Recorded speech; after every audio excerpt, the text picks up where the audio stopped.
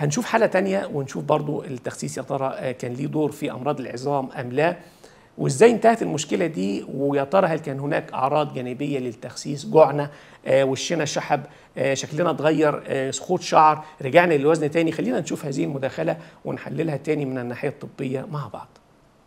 الحاج أبو سعيد السلام عليكم. عليكم السلام ورحمة الله وبركاته. ازيك يا دكتور؟ أهلا بيك يا أمي اتفضلي. عامل إيه؟ بخير وفضل من الله عز وجل ربنا يحفظك. أنا الحاجة بصينة من بحير أهلا وسهلا يا حاج أنا جيت لحضرتك والله وعاوزة نشكر حضرتك يعني ربنا يبارك ربنا يحفظك يا رب ربنا يحفظك حاج أبو سعيد والله الحمد لله كنت زي يعني خسيت و... وكنت ظهري وجعني بقت كويسة. الحمد لله كان عندي غضاريف و... آه. والحمد لله والشكر لله. إحنا كان عندنا غضروف في ال- في الفقرات القطنية يا حاج أبو سعيد أي والله. آه كان بيندلنا إيه بقى ما كناش بنقدر نمشي ولا كان عامل معانا إيه؟ والله كنت تعبانة وكنت بنصلي على الكرسي أكتر من عشر سنين. أكتر من عشر سنين آه. آه الحمد لله والشكر لله. ودلوقتي بنصلي وخسيت. بس عايزه نسأل حضرتك على حاجة بقى مش عارفة إن اليومين دول بنزيد يعني تاني. اللي هي؟ بنزيد تاني في الوزن. طيب خلينا بس عارفة هقول هقول لحضرتك آه. حاضر بس خلينا آه. عشان السادة المشاهدين يستفيدوا من المداخلة بتاعت حضرتك. آه إحنا كان بقالنا 10 سنين بنصلي على كرسي. آه والله الحمد لله دلوقتي الحمد لله والشكر طيب ما تيجي كده ن- نقول للسادة المشاهدين إحنا عملنا إيه؟ آه والله عملنا الحجامة. أيوه. وعملنا وخدت أعشاب وكان عندي كمان دهون على الكبد. أيوه والحمد لله رحت عملت عليها أشعة اللي يعني في العيد كده يعني. آه. وعملت عليها أشعة تلفزيونية عشان نسأل عشان عايزه نشوف الدهون دي إيه أخبارها لأن خدت برضه أعشاب وكده. تمام. والحمد لله. والدكتور كنت رايحة له من سنة كده كان قايل لي أنت عندك دهون على الكبد فظيعة. آه. الحمد لله والشكر لله. قال لي أنا مش اللي قدامي دي مش أنت اللي أنا شفتها الثالثه ما صدقش نفسه يعني. والله يعني هو ما كانش هو أنا قلت له ده أنا خسيت عاوز نعرف بس إيه اللي حصل. ما شاء الله عليك. ما شاء آه الله والله عليك. الحمد لله والشكر لله والله يبارك لك والله. ربنا يحفظك يا حاجة. ثانية كمان. آه. إن أنا خدت لك المديرة بتاعتي في المدرسة.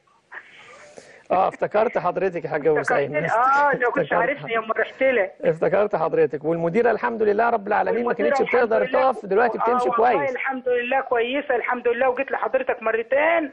آه. وهتجي لك آه، كمان ثالث مرة يعني الأسبوع اللي جاي دي. إن شاء الله إن شاء الله. وهنبعت لك كمان تاني ناس كمان. ربنا يحفظك يا حاج أبو سعيد يا ربنا يحفظك ربنا يجعلنا سبب. الحمد لله والشكر. آمين يا رب. لكن الحمد لله رب العالمين إحنا كده عملنا.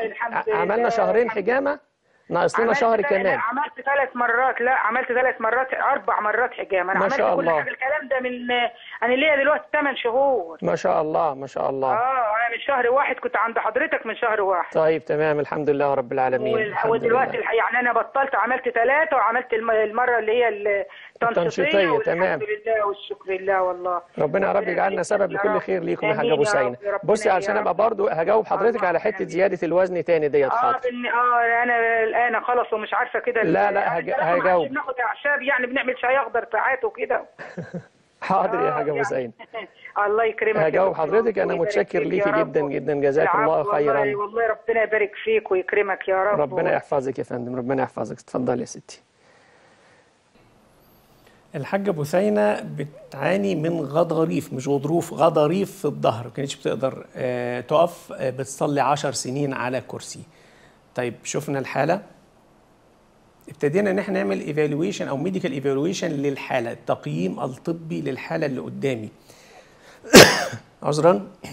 هل يا ترى أتعامل مع الغضروف القطني اللي موجود بالحجامة والأعشاب فقط وأغمض عيني على الحاجات التانية اللي أنا شايفها من الناحية الطبية الوزن الزائد ودهون الكبد؟ ما ينفعش. هل يا ترى ممكن إن أنا أتعامل مثلا مع الوزن الزائد والغضاريف وأغمض عيني عن الدهون الكبد ما ينفعش. وهي دي الأمانة الطبية اللي أنا بتحدث دائما مع حضراتكم عليها. أنا شفت الحالة قيمتها ببتدي أقعد مع المريض بتاعي وأوصف له وأشرح له إحنا هنعمل إيه. واحد اتنين تلاتة أربعة خمسة ستة. ولا بد الالتزام بالست خطوات ديت. ما ينفعش إن أنا أشيل واحدة منهم. ما ينفعش إن ناخد نص واحدة ونسيب النص التاني. لابد الالتزام بالخطة الطبية العلاجية. وقد كان مع الحاجة بثينه بفضل الله سبحانه وتعالى انتهت مشكلة الغضاريف تماما وبتصلي وهي واقفة بفضله سبحانه وتعالى الحمد لله رب العالمين. نزلت في الوزن بطريقة كويسة جدا جدا. وبتقول إن هي ابتدت تزيد في الوزن أنا مش هغمض عينيا ولا هقول لا إحنا طنشها ما تتكلمش فيها. لا لازم اتكلم فيها لأن دي نتيجة دهون الكبد اللي إحنا شلناها. اتحسن الهضم جدا فابتدى ال- ال- الامتصاص للطعام بقى يعني 80% أو 90% فابتدت الأكل الضعيف لا ابتدى يعني بالبلد بتاعنا يظهر عليه بقى. وبالتالي سهل التحكم فيها إن شاء الله سهل التحكم فيها ما فيهاش مشكلة خالص.